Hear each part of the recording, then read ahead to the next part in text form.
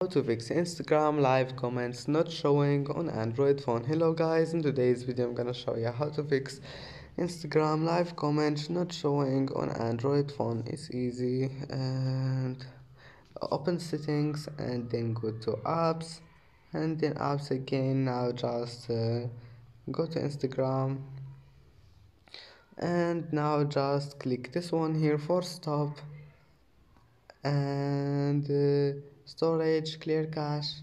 Now just go back to instagram and try again and uh, your problem must be fixed. And if that doesn't fix your problem just restart your phone and go back here and go to data usage.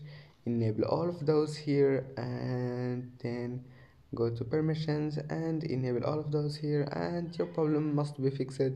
And that's it for today's video.